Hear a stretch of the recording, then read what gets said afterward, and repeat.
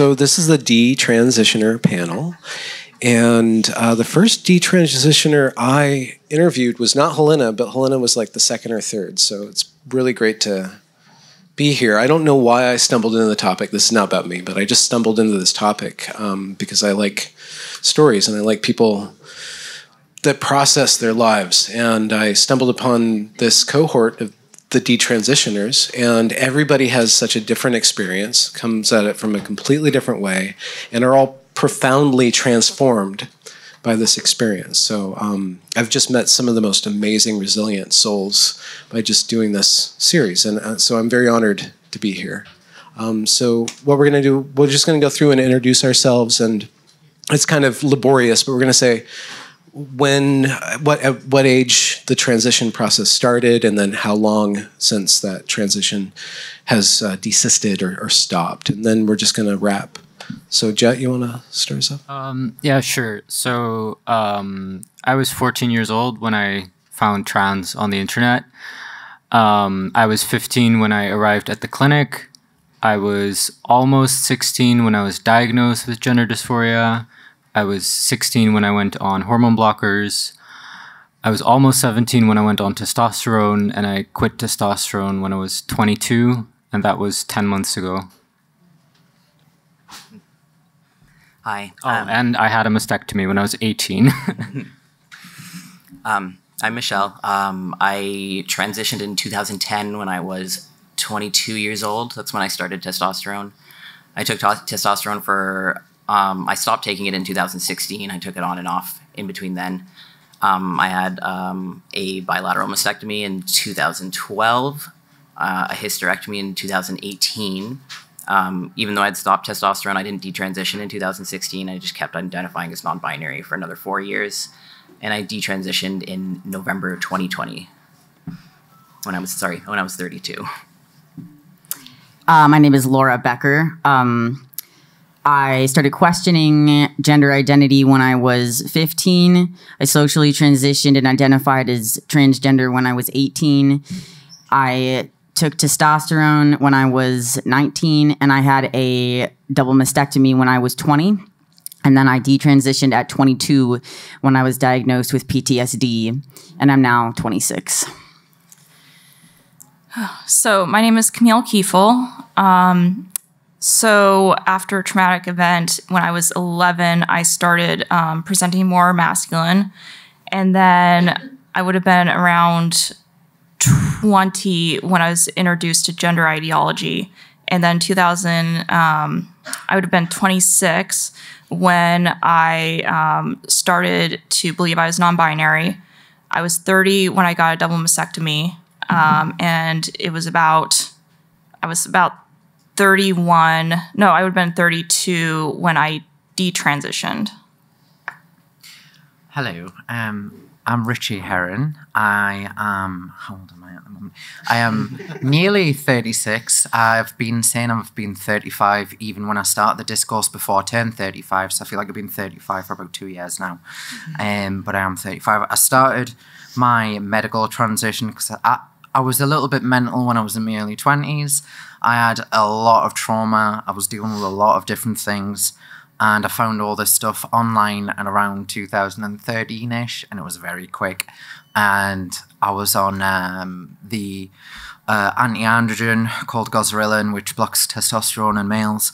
Um, and I started that in 2014. I would later start estrogen. And then in 2018, I had a penile inversion with scrotal graft, which basically means I don't have testicles anymore. And they've created a, a, a nice little pocket for us. Um, that was a bad joke, I'm sorry. Um, Oh, well, and detransition, I went back to my name and I've cut my hair and changed my clothes last year. I originally stopped all because I don't have gonads, I can't produce my own hormones. Um, I originally stopped just estrogen for like four or five months, and I was just very tired, very depressed, and um, I went to the endocrinologist and I was struggling to get testosterone. And then I went on testosterone in September, hated it uh, for various different reasons. Synthetic testosterone, it's not the same as your natural bodies, it's a different hit. Um, and I had, because of the procedure I had, I was getting a lot of internal pain and a lot of just discomfort. I was sleeping a lot. I just hated it. And I was like, well, if I have to pick one, I picked me poison and I picked estrogen. So I'm detransitioned? I don't know if these terms are helpful anymore. I think I'm in recovery, is what I am. That's me. Um, I'm Helena. Uh, I'm 24 now. I started identifying as trans when I was 15 years old, um, and I started testosterone shortly after my 18th birthday. I was on that for 17 months um, when I detransitioned at 19. So, what is detransition? What does that what does that word mean, or what does that process mean for you? Uh, oh God, I've got a lot to say about this. Um, as you may know, I feel like if we buy into language and terms that were used in the inverse, we're just creating an inverse. And by authenticating detransition, you actually authenticate and transition too. So I view it as a term of recovery from a severe um, cognitive dis- what's the term um, dissociation from yourself, from trauma and whatever. It's not the same for everyone. I know I've got to give the caveats. But for me, speaking for me, I was somebody who was very, very traumatized and found this this idea, this thing that I could become someone else. Um, and it latched on very, very hard. And um, I'm sorry, I've lost my train of thought a little bit. With with that, tr- how do you? Um, so if if transition was a way to deal with trauma, and then you start to detransition, then you have two traumas. Well, yeah, I mean, well, I went when I went through on the public side, I hadn't really dealt with any of the trauma at all, like of transition.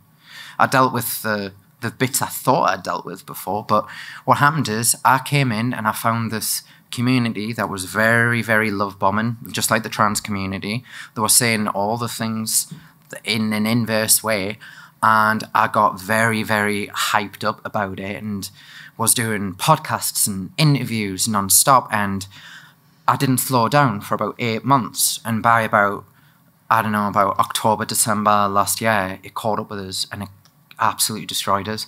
And I, I was just in such a bad position for for months. And I do worry a lot about public detransitioners because they come out they say all these talking points um, and they may or may not agree with them, but they often find that they're dealing, they put themselves, they're giving so much of themselves, and I give so much of myself. And I think it was just because people were listening for the first time. And I really do. It's not that I regret obviously going in the public way, it's just that it's a really bad way to deal with your trauma from transition. Yeah, absolutely. Absolutely. Um, we can follow up on that. I want to broaden that if you guys want to stay on that topic or what detransition means to you. Um, well, going off of that idea, I think that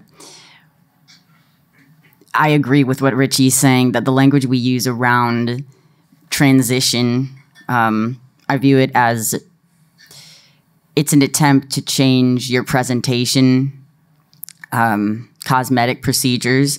So I don't think transition is a genuine term. I think it's disingenuous. Um, I view it more as an acceptance um, coming through the cognitive dissonance into a radical acceptance of existential concerns of being itself. Um, and that we have to be a certain way, and there's a structure, there's a structural framework of bod- embodiment that we have to accept. Um, and so it's an illusionary process. And so you're going through a paradigm shift of reality. It's more psychological and emotional than it really is physical, um, although it definitely can be physical. Um, but it's more psychological, emotional, even spiritual, um, coming to terms with reality itself, consciousness. Um, and so I, and going also of what Richie was saying about I view it as the transition is a maladaptive coping mechanism for various things, trauma, um, whatever it is. And then detransition typically can be adaptive um, because it involves acceptance. So it's an adaptive coping mechanism with reality. Um, and I also think that it's important to emphasize that being a detransitioner or whatever term you want to describe, I've been favoring medical trauma survivor more recently, um, and just trauma survivor in general. But I think detransitioner is a neutral term. It is very charged politically with these different projections of good or evil, you know, savior or victim. I think that overall, detransition can be viewed just as with transition, it can be viewed as um, either through a survivor mentality or a victim mentality. And so for me, detransition and being a detransitioner, it's part of my identity as a survivor. So it's more of a survivor mentality, a healing and growth experience, a transcendent experience. And maybe for some, typically early in their process, it'll be more of a victim mentality. And I do agree that the way the public perceives us um, is typically more of a victim based. And because of that victim based um, perception of us, people then can skew it into sort of a martyrdom angle or a savior angle. Um, so those are all things to be aware of, but ultimately, I do think detransition is neutral. Um, and I think the language we use around that is very important. What doesn't kill us uh, makes us more sympathetic in a, in a way. Um, Eventually, yeah. Camille, did you have a?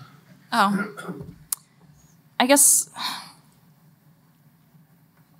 I guess I have a lot of thoughts on on all of it, but I guess detransitioner, as a word itself, I, I guess one of my concerns about language, like I understand language is important, but I guess too, I, I don't want to get hung up on it too much um, versus like what was actually done to me and done to others. And I think, I guess as a detransitioner, what I feel like is that I've, I feel like I've been used politically quite a bit. Um, I know like I've been flown out to, and I live in the United States, so I know that there's this huge divide politically between the right and the left, and the right tends to be more religious, and the left tends to um, tends not to be.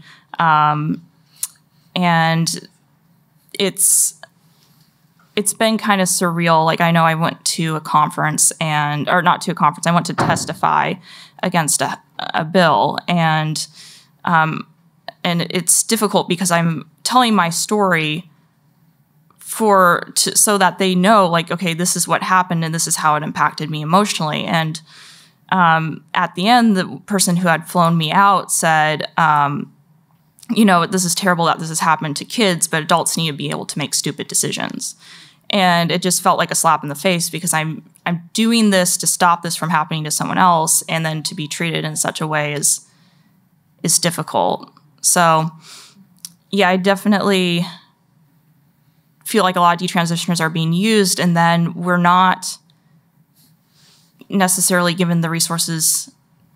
Like i we i know that there's a lot of therapy out there but we do need to also talk about the physical complications that detransitioners deal with and get them help for that. And that's something that i found has not happened. Um, I, I mean, someone reached out to me, and then they didn't follow up because I, I still deal with complications from my um, my top surgery, um, which was a non-binary um, double mastectomy, which is surreal that that happened and that that was allowed to happen. But yeah, it's just there's there's just not the physical care there for detransitioners.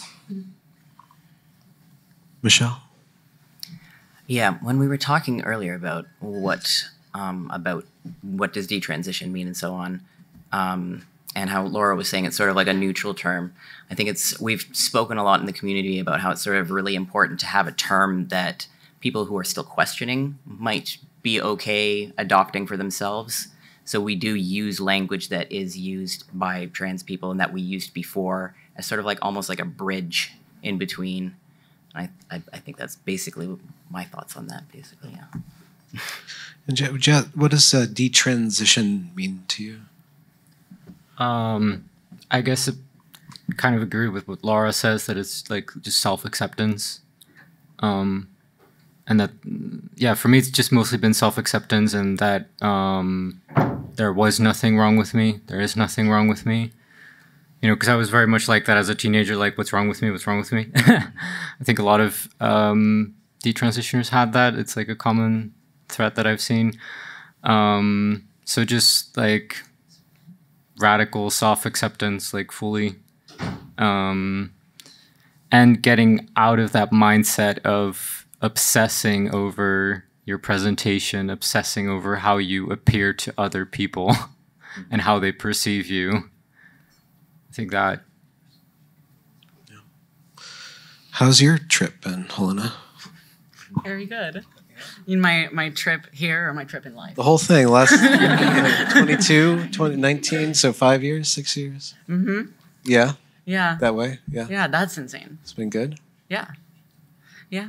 I think detransition to me was very black and white. Um, I don't have any uh, complicated or insightful things to say about it because it's just I was um, in a belief system that was very all encompassing.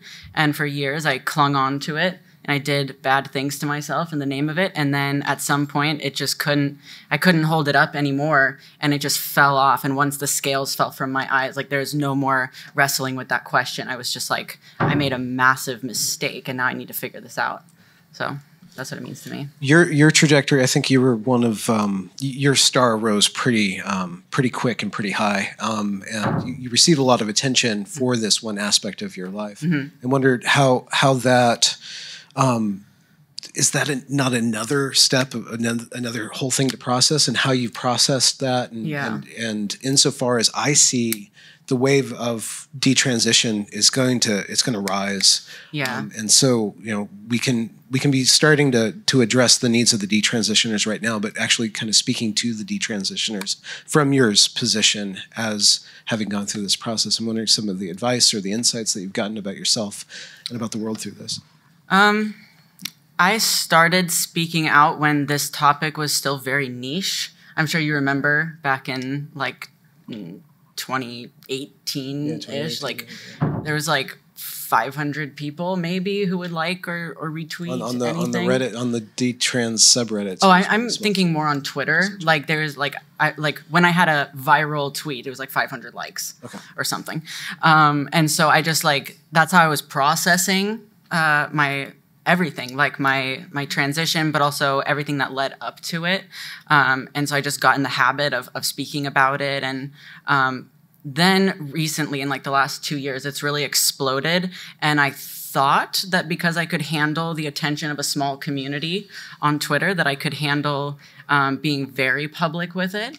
And it's not to say that it's like ravaged my life or anything but it's definitely um, not to be taken lightly at all. And it's not an appropriate way to process um, the transition or any past traumas. So i feel worried for other detransitioners who understandably are really passionate either because like they've been harmed themselves and they like it feels like a massive injustice. You feel like you've been lied to and taken advantage of and you just want to speak that truth. Um, and also there's the concern for others. Like for me a big motivation was like thinking about myself being 15 and thankfully it was before this current era where children are being pushed into it as much. Um, like it was just my parents said no and that was it. Like there was no option for me to get these um, procedures done earlier than 18 but now like those doors are opening up more and more. So i felt a massive moral compulsion to just speak about it speak about it speak about it. Um, but and I think a lot of detransitioners feel that way, but there has to be some kind of help for people to process this in a way that isn't immediately going public and isn't immediately jumping into another ideology to make sense of what you've been through. Um, whether that's, I've seen some people go like very feminist or jump into like a religious belief system. And I think that there needs to be more support for people to just get in touch with what they've been feeling and what they've been through without doing it so publicly. Yeah.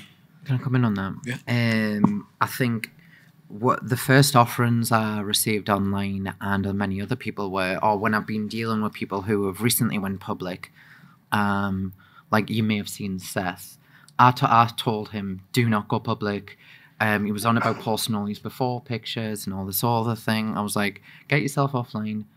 ASAP. Straight away, he was being asked, and I got asked this too Will you come testify? Will you come testify? Will you come testify? They don't give a shit about us. They don't care.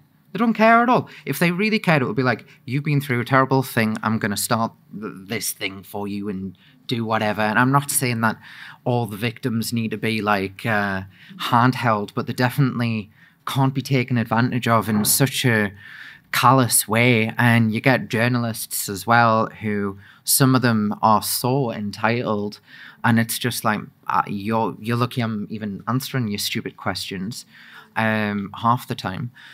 I I think. So I'm going to collect my thoughts on the next bit, and I'll come back to you on that one because I've Yeah. a lot of things. I'm just going to add kind of to what you're saying about the testifying. Um, I I remember testifying, and um, we had another detransitioner who was also testifying. That's they they really wanted one detransitioner, but they couldn't got her, so they got me instead, um, which didn't feel good as well. And then they also wanted, and they told me this while I was in the room, was that they wanted this other detransitioner to to go first because of um, his story would be more powerful. And so it's this co- co- commodification of trauma um, that happens to detransitioners.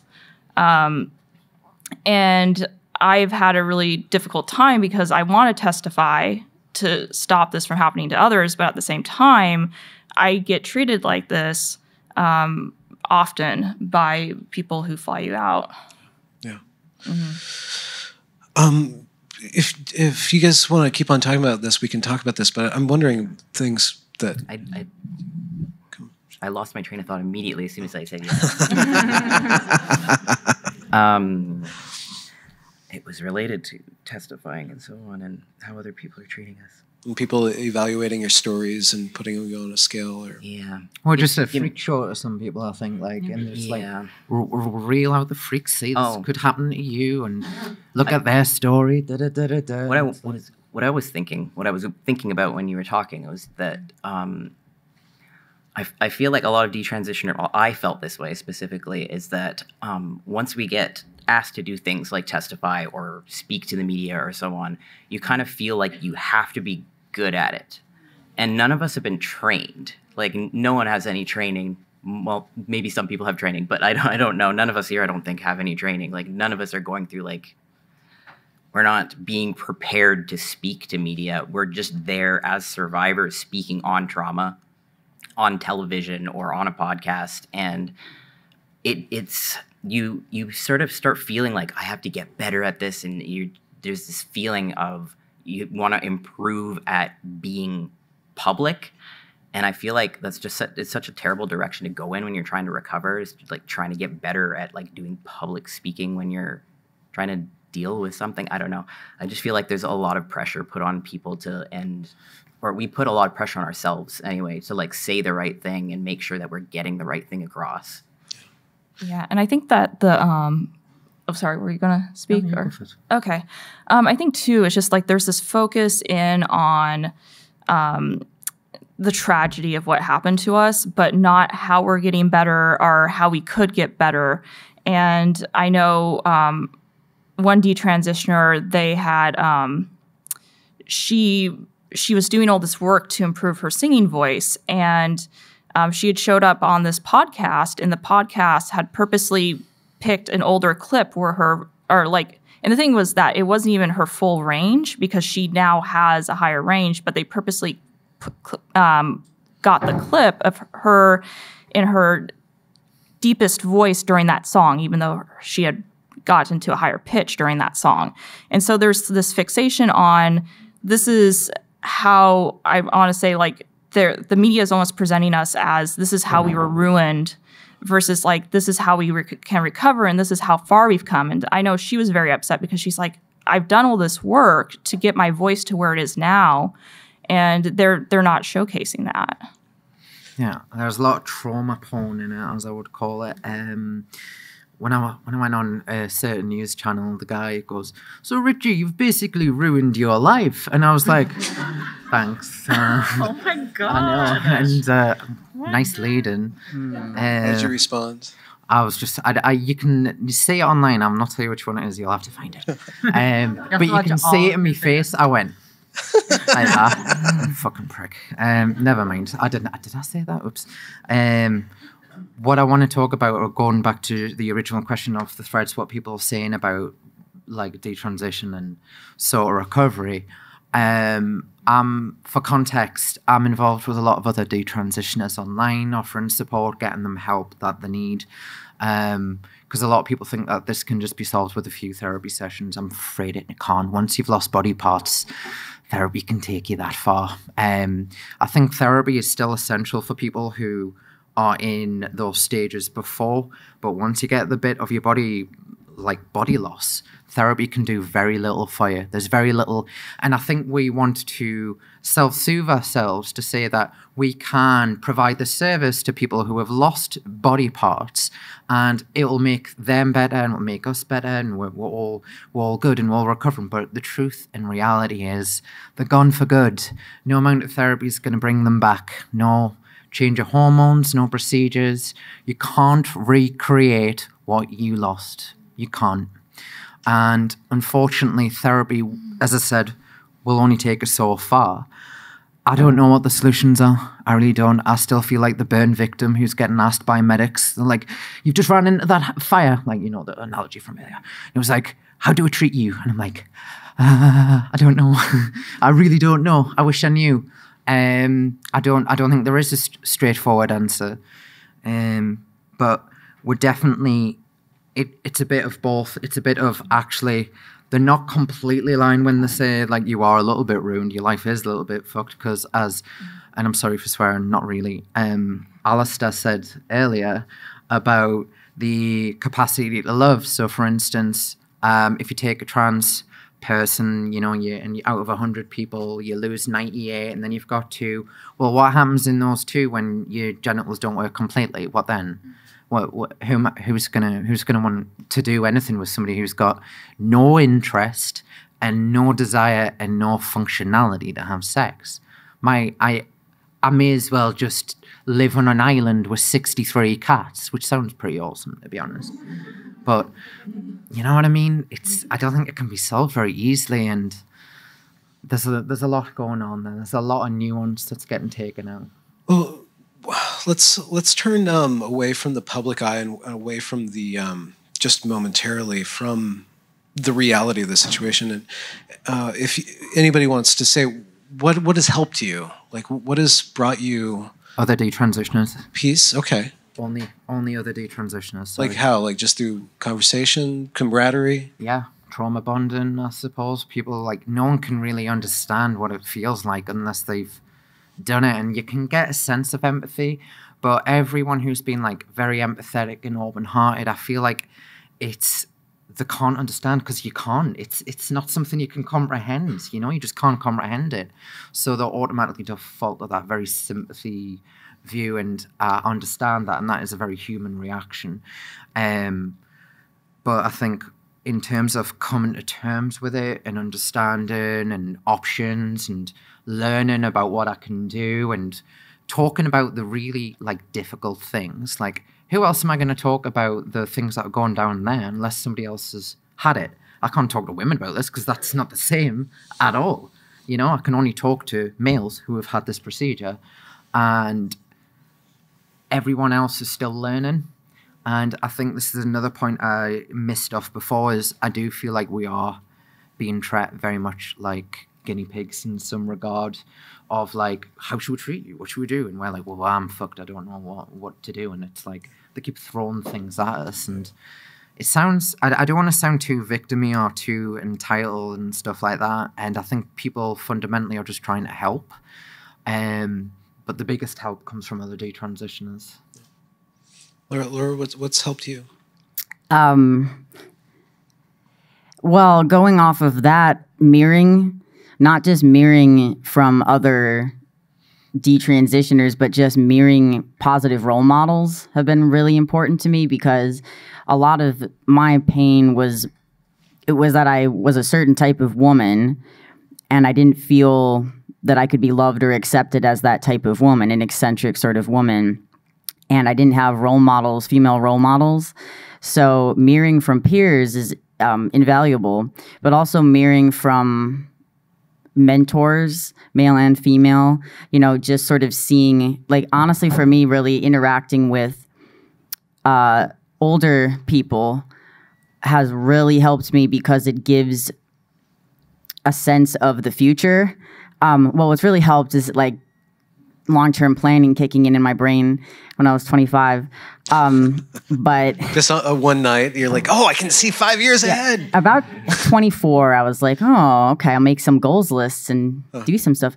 Um, but yeah, having a view of the future, because again, as we've been saying, so much of the media and the journalists and such focus on the highlights of our most traumatic events. And then it is just to complain for a second, they'll ask you, So are you happy now? like, read my Twitter.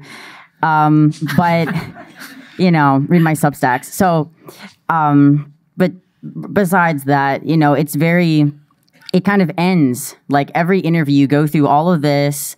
And it's, I mean, I find it introspective and I get enjoyment out of that personally, telling the narrative, but then it ends in the present. And then the future is not really discussed very often. And so thinking about the future, you know, seeing that there are, that there's potential and finding people that mirror that potential because peers can mirror that, but not as much because we're all still in the same stage. So mentors have really helped. And also therapy has really helped. And therapists can be mentors, of course.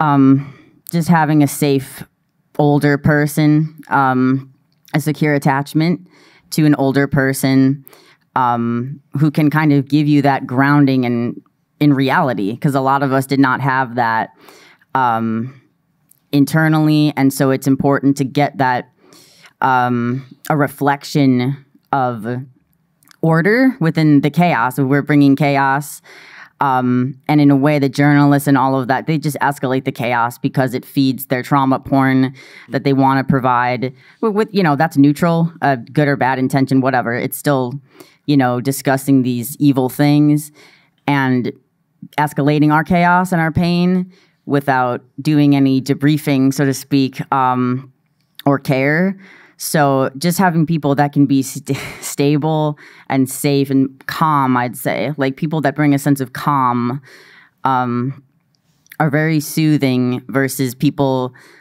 that just feed off of it. And there's so much of that, and it can get so tense. Um, there's a lot of things that have helped me, but those are some of them. And this is why you're our favorite, Boyce. Conversation. Let's save me for later. Jet, what, what's some something that's helped you?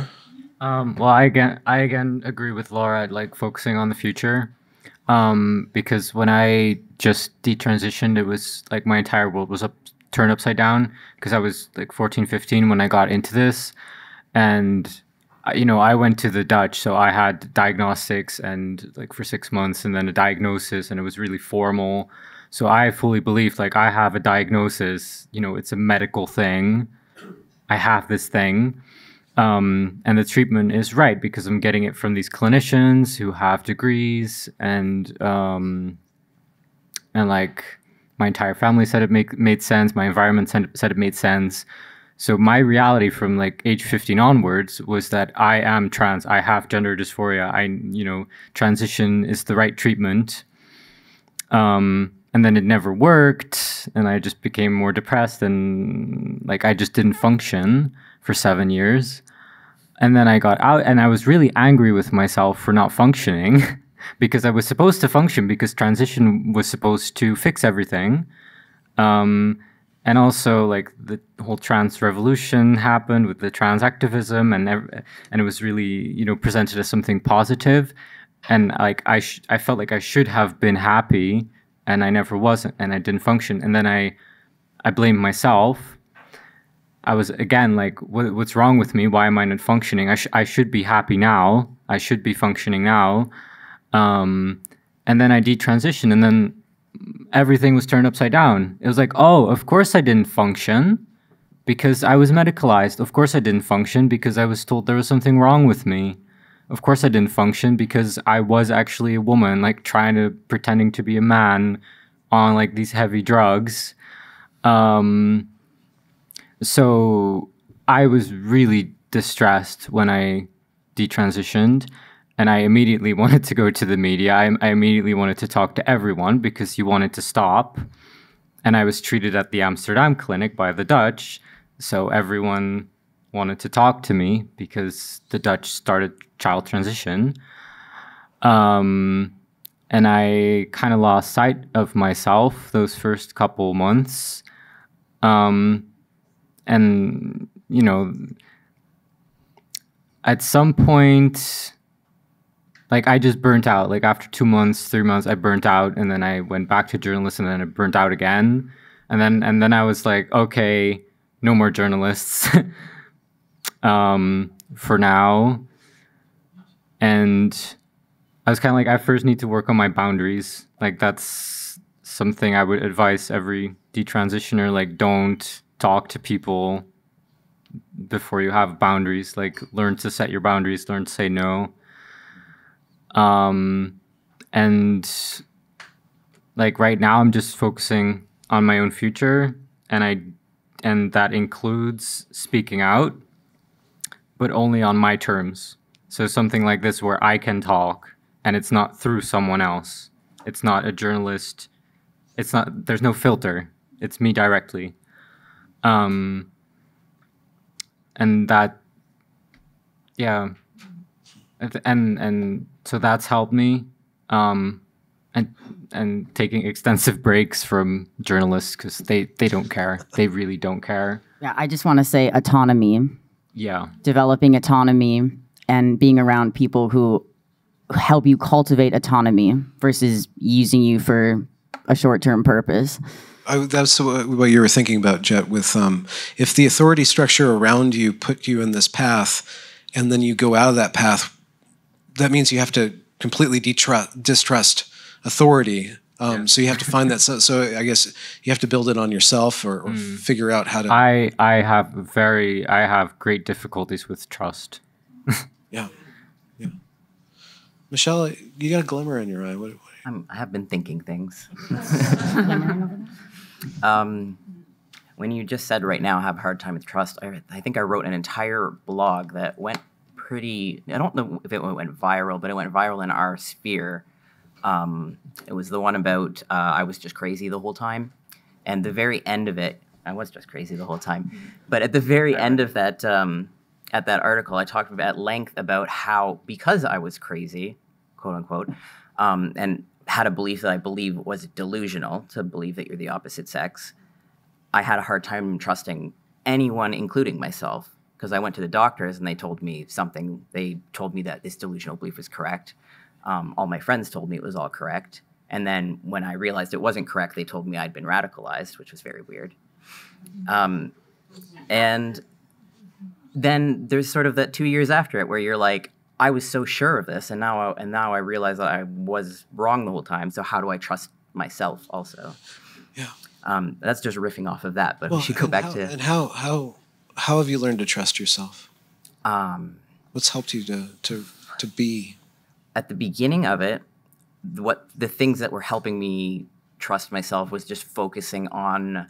I, I, used the phrase material reality so many times in like the first year after I detransitioned. Was just everything has to be something objective. That's the things that I trust is something objective that I can see, that we can touch, that we can all agree is the exact same thing um, which apparently we can't do with men and women anymore, which is very strange. But um, yeah, yeah. So just really getting down to basics and, and mm-hmm. building building up your con- conceptual framework from from just the most solid thing, and then starting to. Yeah. So it's basing, and that's sort of where I went with with my advocacy when we talk about like having evidence based medicine. It has to be on something with empirical evidence. So when we're talking about gender identity, there's no empirical evidence that gender identity exists. So that's that was the thing I think that even made me detransition was I started focusing on it was this was part of being in social justice culture because everything's so identitarian and everything like that. And I heard someone say I prioritize material reality over subjective reality So, in order to like make a judgment about something, trust that first. And then I, I was like, that's a good idea. But wait a minute, I have a gender identity, which is a subjective reality. And hmm. over a probably a, maybe six months or something, it just slowly broke down. And I was like, yeah, then I maybe this was wrong the whole time. Then my roommate detransitioned. So everything kind of all happened at once. Yeah. Yeah. Camille or Helena, you got um, Um, things that are bouncing around? So, um, what helped me was, um, well, to kind of go back a little bit, um, I had done about 20 years of traditional talk therapy, including um, EMDR. I'd done dialectical behavior therapy. Um, I'd done somatic experiencing, and I had done two rounds of transcranial magnetic stimulation therapy. And that's a treatment that's um, it's a safer cousin to ECT, and it's reserved for people who are treatment resistant, like myself. Um, so I was at the end of my rope when I did transition, and I thought was going to help um, because that's what it's been advertised as. And when that didn't help, um, well, what happened was that I days after I woke up from surgery, I ended up developing uh, multiple health issues. And at first, my doctors took me seriously. And then, after they thought I had psychosomatic fever, um, they stopped taking me seriously. And so, what I had to do um, at that point, I was like, I need to end my life or I need to figure out something else because this isn't working.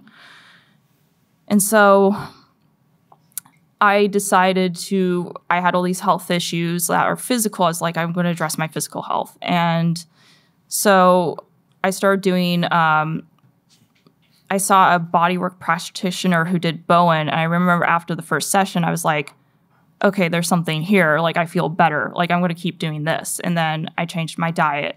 And then we found out later, and um, it was either my functional medicine doctor or my naturopath decided to run CRP levels. And CRP levels is a marker for inflammation in the body. And they had found I had a 7.8, and that's that's high. So um, if you're above a three, you're you're high. And so um, worked on inflammation um, and getting that down, and now I'm a one. Um, so I've made um, improvement, but I think um, that, and then I also did hyperbaric oxygen therapy, which is where you receive pure oxygen in a pressurized environment. And after, so before this, before I st- started addressing my physical health, I had struggled with generalized anxiety disorder. I had struggled with ADHD. Um, I had um, CPTSD, and um, I'd also struggled with depression. Um, I still struggle with depression now, but um, I no longer have generalized anxiety disorder. I no longer have CPTSD. And after the HBOT, because I was a part of a case study, I went from, um, I did 60 treatments and I marked it daily when I did these treatments, and I went from 72 to six on ADHD scale.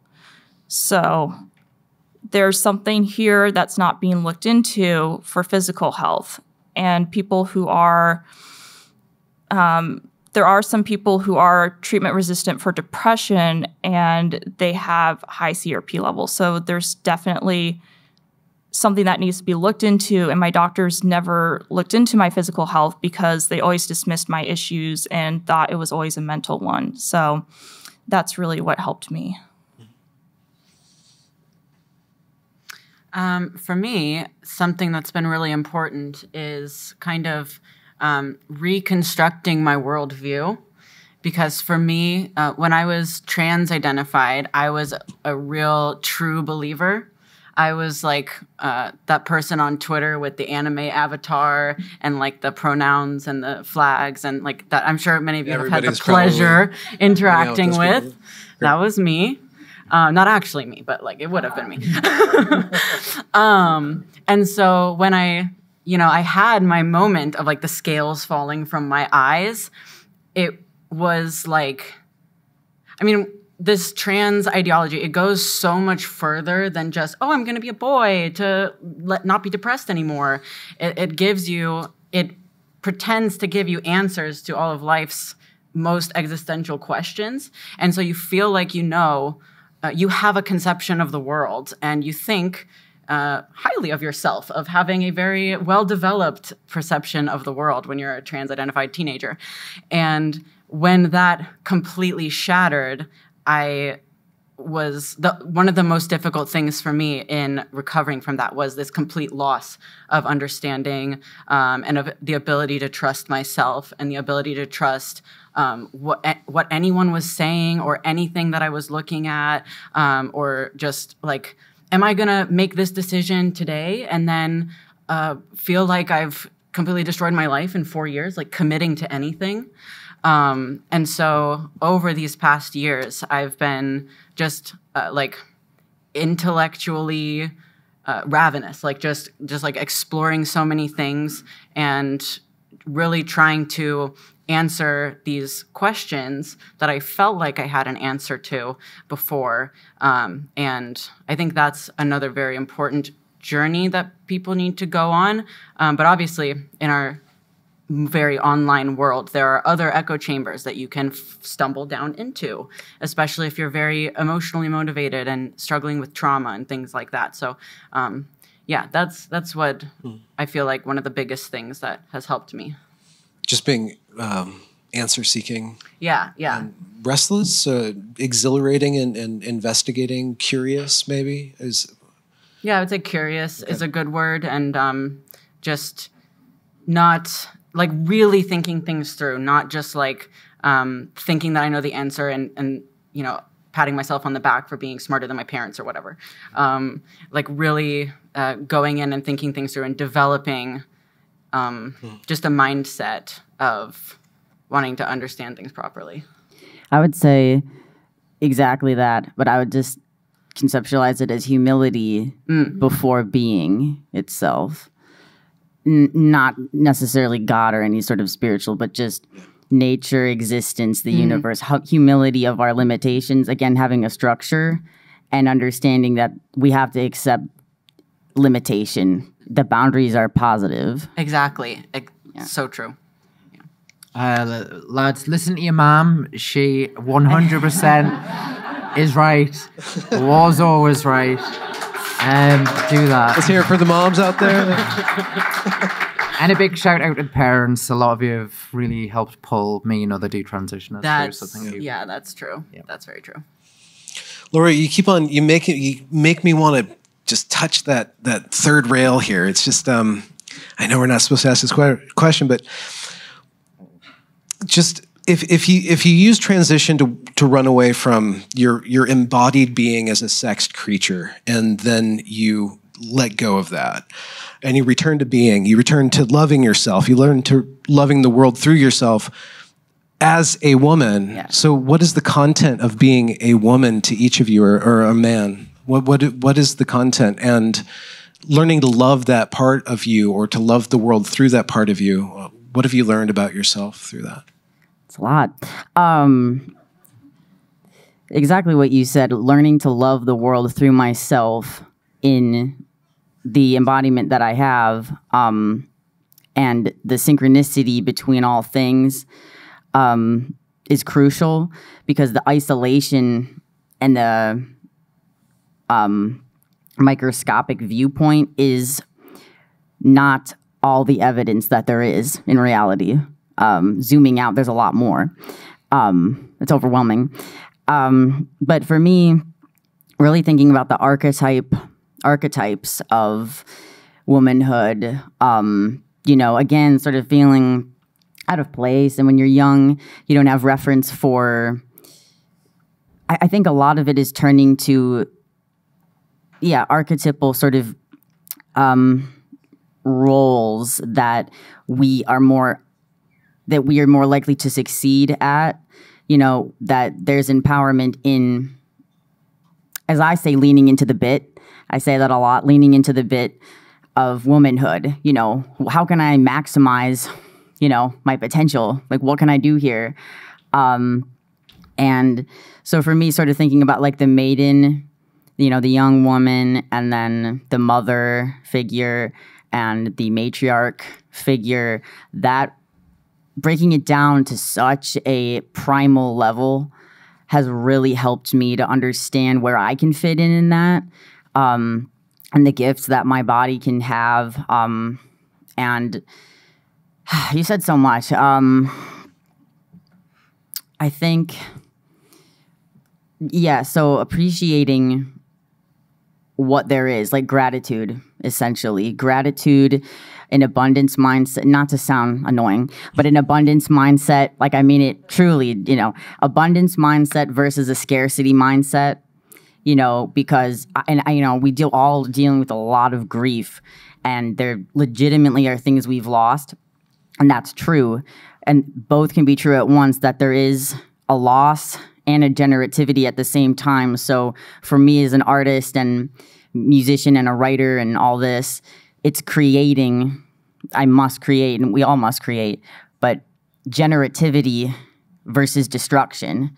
And we think and we transition because we want to generate and transform and create. So we're trying to follow our natural human impulse to create and transcend, but we're actually destroying. We're not actually creating and through acceptance we can actually start to create based on what's actually available to us you know not just the fantasy of the material reality we want or a fabricated one through surgery or del- or illusion but actually through tangible skills that we have so again creativity um trying to link this back to whatever i was saying earlier but yeah creativity michelle if you don't mind, um, we have a little bit more time. Um, I'm, I'm, wondering. This is kind of a personal question, but it just makes me think. Watching your Twitter feed, um, mm-hmm. how have you learned to love your body, um, and and has that been a big change in in, in how you've related to the world and, and your body? Yeah. So I have had like a long body journey, which started probably about a year ago. Um, it probably started uh, shortly after I was in affirmation generation. I lost 40 pounds in the last year. Um, but basically, at that point in time, around that time, May or June, there was a part of me being like, I want to go back on dating apps. I want to start dating people. And then I started, I opened, I installed an app and I was going through my pictures and I was like, I hate all of these pictures of myself. So, what do I do in order to love myself first before I can ask anyone else to love me? Or I can't even put any pictures of myself in the dating app. Um, so, immediately, well, I, not immediately, but shortly after that, um, I started dieting. I well, not dieting, but just basically stopped eating terrible. So, eating normal like a healthy person.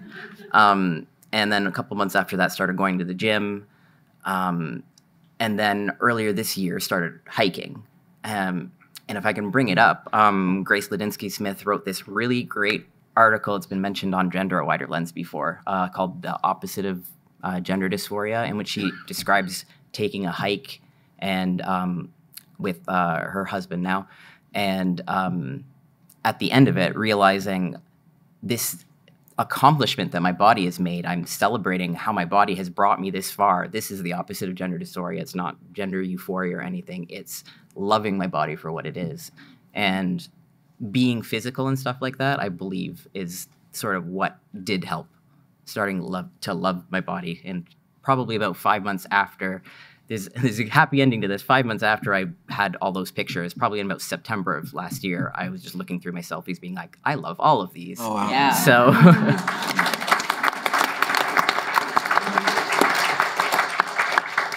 um, and and Finn, um, how have you learned to to love yourself over over this process? Um, well, I think for me, it's like a lot more straightforward, as in that I really believe that the medicalization caused me to become disconnected from my body because like the blockers stop my sexual development, which is a pretty major thing in puberty.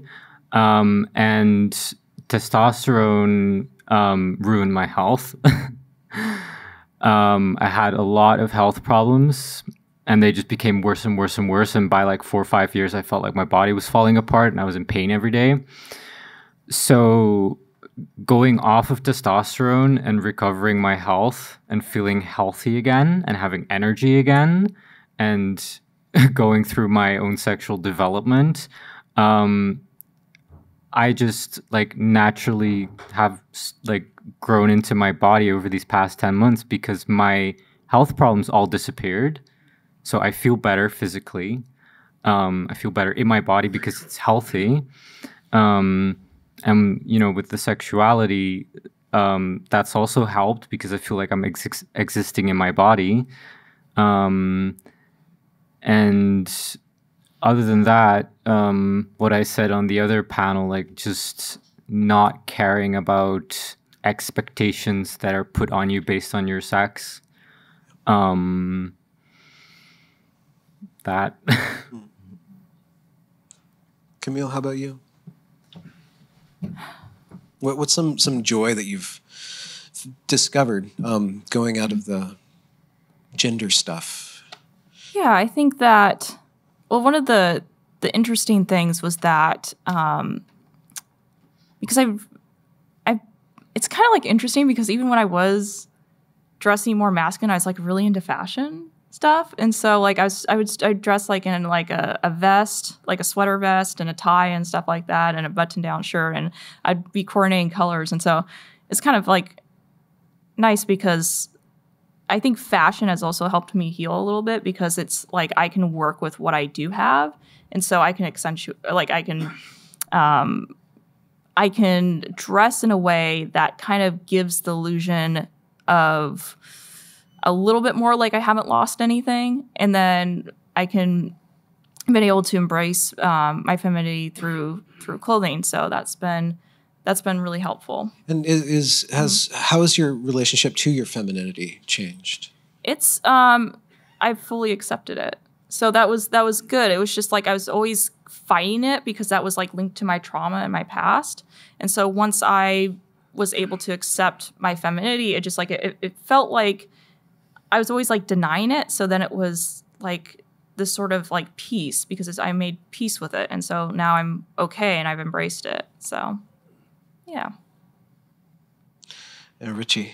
Hi. What, what's some great things that have happened to you? um, good things. I mean, I've had uh, like although it has been quite traumatic, the last year has been really insane. At the same time, in a good way, um, talking to people you would never ever cross paths with and stuff like that, and um, trying to reintegrate into the world. And for me, because the, there has been a fundamental amount of like physical loss there that I can't kind of reconcile, I have stopped fighting with myself a lot more, which has enabled me to kind of integrate in society in the way that I wanted to do in transition.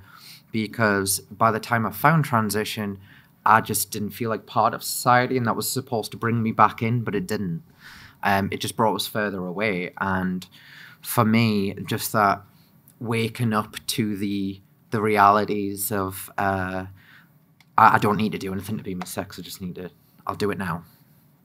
right? Yeah. You know what I mean? You don't. You don't need to do anything. And I don't know. It's just been easier to get involved with activities like swimming and archery and writing. I love writing and I, I love my cats and all that sort of thing. And there's a lot of things I am very grateful for too, because I'm not fighting myself. I'm not locked in my own head. So yeah. And some some gifts that you've discovered out of the blue, Helena, over the last few years of wrestling with this and discovering this and getting all these internet arguments with everybody under the sun? I feel like I've been pretty good at not getting in inter- internet arguments. Really? Yeah. okay. Yeah. Do you you will never see me going back and forth with someone. No, okay. Yeah. Um um I feel I really resonated with what you said, Camille. Um I feel like I've been in the process of developing a positive vision of femininity and womanhood. Uh, I feel like our society, in our um, oftentimes very justified attempt to uh, make stereotypes and rigid roles less important in people's daily lives, we've had an, an effect of really kind of flattening what it means to be a man or a woman and even kind of making some of the in my opinion, very best things about the sexes, kind of um, not like taboo to speak about. Like you can't say it's, or some people would be offended by saying, um, you know, I think one of the most amazing things about womanhood is the ability to be a mother and give life and raise the next generation. Some people would find that reductive and offensive. Um, and so I think that one of the best things I've been able to develop is actually reconciling with um, just my being a female and the blessings that that does come with that hopefully I'll be able to experience someday and um, not be so at odds with my femininity or see my femininity as it makes me weak or it makes me less respectable in society and, and just um, be myself and not uh, overthink it so much. We're at zero. Thank you guys so much for for opening yourselves.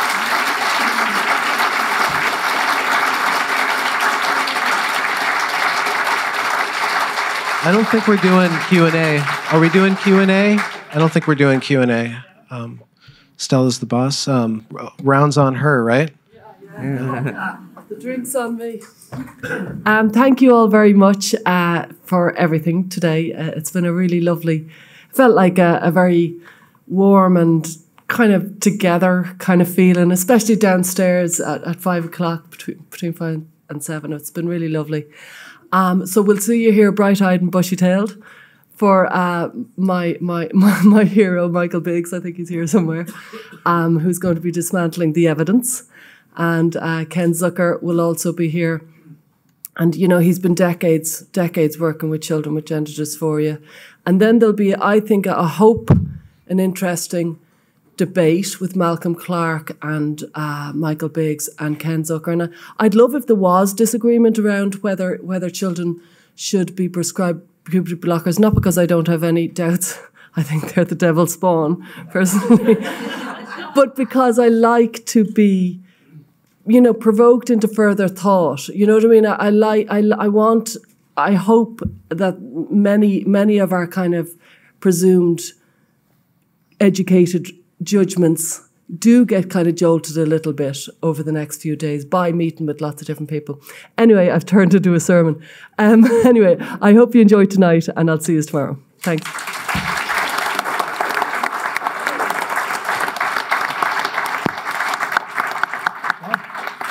We lived. Okay.